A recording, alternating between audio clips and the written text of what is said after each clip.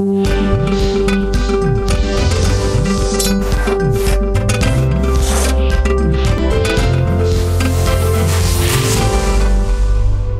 Вітаю зараз у соцмережах гуляє страшний жарт, який звучить так: шановні росіяни, попереду вибори вашого президента, тому перевіряйте свої підвали. Вибух у петербурзькому метро справді лякає не лише тим, що стався у рік президентських виборів, а й своїми паралелями. Про ці вибухи та про те, як вони змінять стосунки Росії із світом і чого чекати українцям. У нас у студії співголова громадської ініціативи Права справа Дмитро Снігирьов. Мене ж звати Тетяна Іванська. Це експертна думка. Розпочинаємо. Отже, Дмитре, вітаю вас е, у нашій студії. Говоримо сьогодні про ось цей теракт в метро в Петербурзі. Е, Вас, як експерта, яка перша думка виникла, коли ви почули цю новину? Ви знаєте, перша думка це вже стала практика російських спеціальних служб. Я поясню, чому Тобто так. ви навіть не, не сумнівалися? Не було. Перша знаєте, думка, мене, що самі мене зробили. єдине, скажімо так, цікавило, хто буде висунути в якості винуватця, яка зі сторін, чи то ісламський слід, чи то польський слід, чи то український слід. Кого на цей раз російські спеціальні служби оберуть ймовірним супротивником і організатором е, цього вибуху? Все ж таки про вибухи е, були спочатку версії, що два вибухи. Потім, е, коли дивилися вчора, е, я дивилася постійно новини, так то підтверджували, що другий вибух ніби мав статися, то не підтверджували. То знайшли, то не знайшли. На вашу думку, для чого була ось ця інформація виведена? Ну, ви знаєте, давайте маленьку предісторію, що відбувалося напередодні виборів. 29 число в Дагестані. Ну, надто масові виступи так званих дальнобійників, Так, там перекрили які рух. протестують проти е, системи Платон. Е, відповідно, ба більше того, тоді вперше Росії були підтягнуті не тільки міліцейські підрозділи, а відповідно А. Національна гвардія, Так. яка блокує протестувальник. Відбуваються масові виступи в інших містах Росії.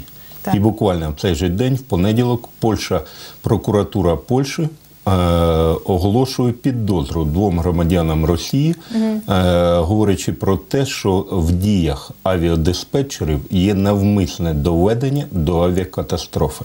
Тобто таким чином складається негативна картинка як всередині самої Росії, так і зовні. Плюс цьому варто додати оті постріли в центрі Києва і відповідна заява українських політиків про можливий російський слід у вбивстві е, російського екс-депутата.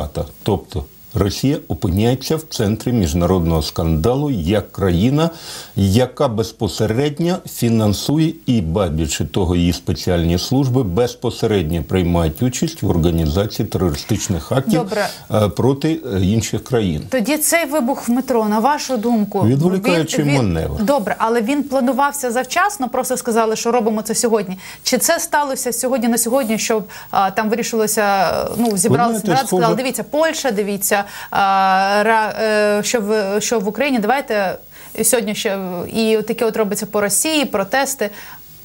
Сьогодні, на сьогодні вирішували це ФСБ. Чи все ж таки це був план? Е, Скорше за все, все ж таки був план організації от протидії. Відволікання на негідний відволікання на негідний об'єкт. Але склалося так, що відповідно і співпав візит Путіна в Санкт-Петербург. Більше того, там є версія навіть Слави Рабіновича, російського політолога, який говорить про те, що цей день це день створення ФСБ. Е, Тобто, і плюс от вирок з боку польської Фіміди, який чітко говорить про те, що все ж таки авіакатастрофа під Смоленськом це операція російських спецслужб. Тому, скорше за це, цей день, ну ска- скажімо так, російські спецслужби вже. Як то кажуть, працювали е, на випередження, тобто не було вже інших варіантів, ніж, скажімо, відволікати увагу на саме от такий от сценарій. Але з іншого боку, я, вибачте, я закінчу свою думку. Існує версія про те, що російські спеціальні служби знали заздалегідь про можливі вибухи, і е, навіть вони, начебто, слухали телефонні розмови ймовірних виконавців цього терористичного акту. І саме на момент, коли планувався другий вибух, начебто були відключені стільникові телефони що не дозволила привести в дію другий вибуховий пристрій, е, який там потужністю більше кілограма вибуховому еквіваленті. Тобто версій більш ніж достатньо. Але всі версії схиляються до того, що за вибухами стоять російські спеціальні служби. На даний момент е, ми знаємо, що 14 людей загинуло, 11 на місці, 3 людини від травм і 49 людей наразі знаходяться в лікарнях. Зараз зробимо невеличку паузу, після чого повертаємося до студії. Дмитро Снігирьов, голова громадської ініціативи Права справа. Говоримо сьогодні про вибух у метро в Санкт-Петербурзі. Е, Говорили ми про різні версії. Насправді версій дуже багато. Дуже багато, і одна. е, Як конспірологічніше іншої, правда Так. ж? Давайте ми спочатку подивимося все ж таки на це відео, і потім ми про нього поговоримо про наслідки того, що за цим що може бути після цих вибухів.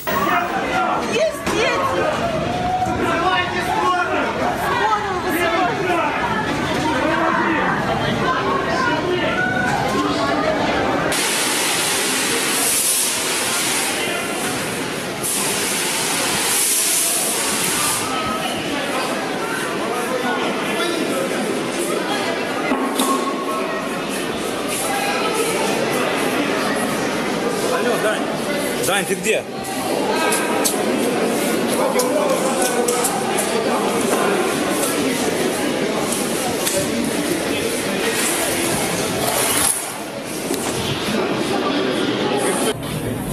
Это типа техноложка горит.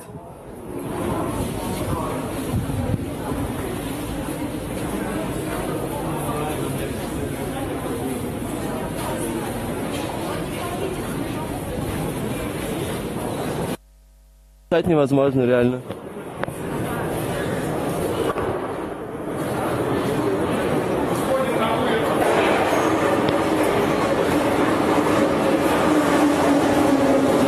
Восстание уже перекрыто. Восстание перекрыто, перекрывают... э, Восстание перекрыто, перекрывают техноложку. Ну, це буквально перші секунди, перші хвилини після вибуху. Так Е, бачили ми один вагон, е, бачили поранених е, і людей, які загинули. Бачили. Е, Знову ж таки, продовжуємо про версії і продовжуємо про наслідки цього теракту. Е, Була версія, одна також з перших версій, е, була про те, що таким чином е, влаштувавши цей вибух, е, Росія хоче домо- почати домовлятися з США, якось знаходити шляхи до того, щоб союз між США і Росією укріпився. І власне сьогодні вже в змі з'явилися е, з'явилася заява Піскова, е, де він розповів про те, що Дональд Трамп. Подзвонив Володимиру Путіну, висловив глибокі співчуття рідним і близьким, а попросив передати слова підтримки російському народу. І е, президенти, обоє президентів відзначили, що тероризм це зло, з яким потрібно боротися спільно. Тобто до того, чого хотіла Росія, вона добилася. Фактично, США так. відре- відреагували. Що тепер? Тепер буде міцніший союз в Сирії. Ну, ви знаєте, важко сказати, наскільки буде міцніший союз Сирії, але Росії вдалося відволікти увагу від власне звинувачень в організації от саме терористичних актів е, на території сусідніх країн. Тобто таким чином Росія перетворилася з безпосередньо країни, яка є організатором, країну жертву, яка стала жертвою проведення терористичного акту. Я що нагадаю, тепер на що будуть е, на що буде ста- робити ставки Росія? Росія буде робити ставку на е, посилення от антитерористичної риторики і відповідно боротьби з тероризмом. Це то буде використаний даний теракт, як завжди, для завинчення гайок як всередині, так і безпосередньо на міжнародній арені. Давайте згадаємо Біслан 2004 року. От та трагедія, яка відбулася в Сатинському місті на 1 вересня, коли заручники були захоплені Діти. діти. Так. Що відбулося? Кількість жертв просто вражаюча до 400 чоловік. Але після тієї трагедії сама трагедія використовується а заради е, скасування виборів губернаторів. Путін отримує жорстку вертикаль підпорядкування в країні, коли скасовані вибори і губернатори призначаються безпосередньо президентом. І друге, що робиться, це створення національного антитерористичного комітету. От вам цинізм цієї людини, цинізм структури, яку він представляє. Будь-який що теракт, не зважаючи на його масштаби, використовується заради укріплення власної вертикалі. Відповідно, і цей масштаб не будемо проводити паралелі, бо смерть кожної людини Так. це трагедія. Але і цей теракт буде використаний для саме посилення внутрішніх позицій, створення ще більших умов для завинчення тих гайок. І тому мені не випадково, чому обраний саме представник мусульманського світу. Зараз буде жорстка риторика у моменті так званого діалогу от з тими дальнобійниками, саме з Північним Кавказом. Я очікував, що все ж таки буде український слід як Знайдуть момент відволікання. Та, відволікання від подій в центрі Києва. А що, Ні, до речі, сталося. означає те, що там українського сліду не знайшли? Ну це означає, що наразі Україну не розглядають як потенційного супротивника. Ми будемо? Ми будемо предметами торгу саме в перемовинах з Сполученими Штатами. Наразі найбільша загроза для Росії, вони це прекрасно розуміють. Це внутрішні протистояння.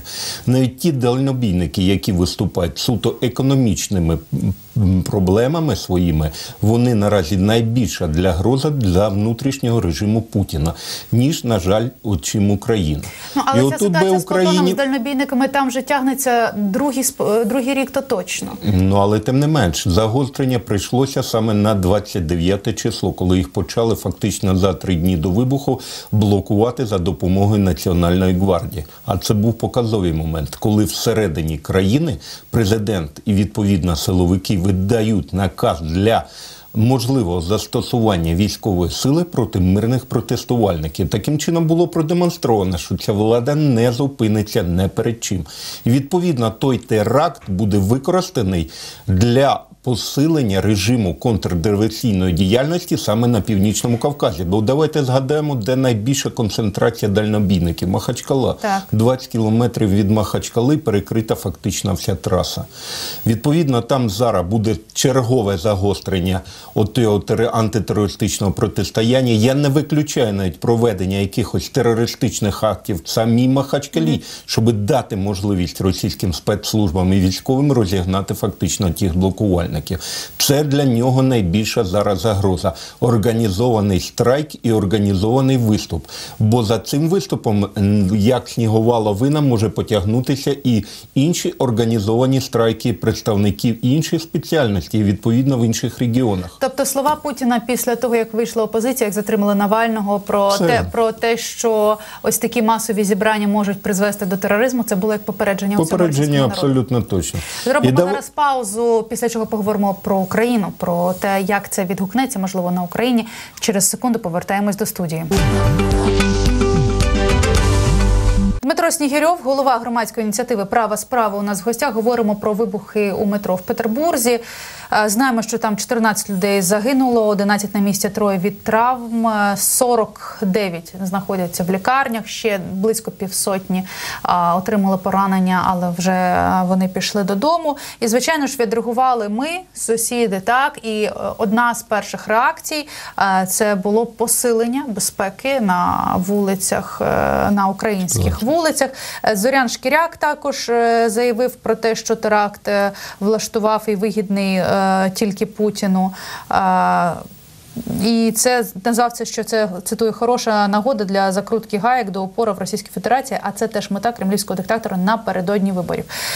Ну але це їхні вибори, це їхня країна. Чого нам чекати? Окей, посилили ми. Е- Режим так більше буде патрульних на вулицях, але тим не менш і без цих вибухів нас, наприклад, е, в Луцьку обстріляли генконсульство Польщі. Давайте знову згадаємо, чим пов'язаний обстріл е, генконсульства. Знов таки рішення польської прокуратури щодо зміни обвинувачень двом російським авіадиспетчерам. Росія фактично Це грала на, грала на випередки, тобто створити е, громадську думку як всередині самої Польщі, так відповідно і громадську думку міжнародної спільноти, яка звинуватить Україну от в між е, україно-польському протистоянні. Ну чекайте, фільм Смоленськ вийшов. Ну, я він от- мав вийти в квітні минулого Квітні. року. Він вийшов, е, скажу точно зараз, у вересні 2016 року. Чому тоді не було ніяких а, ніяких е, не було вибухів а, зі ну, Чому не було? Давайте подивимося, що відбувалося в самій Польщі. 28 Стосовно травня Польщі, 2016 року в Польщі польськими спеціальними службами проводяться обшуки в офісі політичної партії Зміна, якою очолюють Маріуш Піскорський, сумнозвісний польський депутат, єдиний депутат Європарламенту, який є скінхейдом, який в 2014 році неодноразово був на території анексованого Криму відповідно самопроголошених ЛНР і ДНР в якості так званого міжнародного спостерігача. Ба більше того, ми його фіксували ДНР під час особистої зустрічі з Олександром Захарченко. Давайте згадаємо, що було в 2014 році. Службою безпеки України на кордоні затримується група польських націоналістів з праворадикальної організації Фаланга, яка їхала брати безпосередню участь в бойових діях на сході України. У 2015 році права справа попереджує, що на території Польщі діє низка праворадикальних організацій, яка фінансується з Москви. Йдеться про ОВП, Задруга, Фаланга та сама зміна, які використовують антиукраїнську риторику заради розпалення міжнаціонального конфлікту. Варто згадати, у 2014 році в Польщі проводиться низка заходів біля українських дипломатичних представництв з основними гаслами щодо визнання самопроголошених республік. Руйнація пам'ятника героям УПА на- польській території поблизу е, україно-польського кордону. Себто таким чином закладалося вже фундамент підвалини можливо українсько-польського протистояння. І от воно вистрілило в Луцьку. І давайте дивитися, ну казати відверто, кому це потрібно. Потрібно Росії, потрібно спровокувати україно-польський конфлікт і таким чином вивести Польщу як єдиного можливого партнера України, а фактично адвоката на європейській арені. Ну я вам скажу, що і без Росії Польща вже не є таким стовідсотковим адвокатом, тому що коли піс прийшов до влади, а вони грають на цих націоналістичних рухах. І це піс профінансував фільм Смоленськ, і це піс профінансував фільм Волинь, який зараз іде по усіх кінотеатрах, і е, школярів польських е, туди ведуть в ці кінотеатри, навіть інколи без згоди батьків. Тобто, наскільки тут е, важлива рука Кремля в цих укр... е, польсько Дуже важливо. Я ще раз повторюю. Можливо, це вона стос- просто підіграє, але не влаштовує. не підігрує. Фактично йде про фінансування прорадикальних організацій. Причому ця практика стала не тільки для Польщі, а фактично для всіх наших сусідів. Ця сама ситуація наразі склалася і в Угорщині, коли праворадикальна партія Йобік, лідерам яким угорською прокуратурою висунуто звинувачення, пряме звинувачення, порушена кримінальна справа фінансування з Москви і робота на російські спеціальні служби, саме цією партією ведеться підривна діяльність на території українського Закарпаття. Себто саме от російські спеціальні служби створюють на кордонах України зони нестабільності в Польщі, в Угорщині, в Румунії, е, по фактично по всіх кордонах, змусюють українську владу, українські спеціальні служби відволікатися від основного фронту протистояння на сході України. Добре, що коротко лишилося хвилина. Що робити, щоб не вибухнуло тут? Посилювати знов таки заходи контртерористичної діяльності, повністю реформувати службу безпеки України, яка наразі не відповідає не зовнішнім, не внутрішнім викликам, змінювати керівництво всіх без винятку обласних управлінь. І відповідно саме керівництво Служби безпеки Це України. дуже довгий шлях. Ні, це тиждень-два, якщо є політична воля. Якщо є політична воля, Дмитро Снігирьов, голова громадської ініціативи Права справа, був гостем нашої сьогоднішньої студії. Бажаю нам усім миру, і щоб поменше було таких терактів в усьому світі. До зустрічі.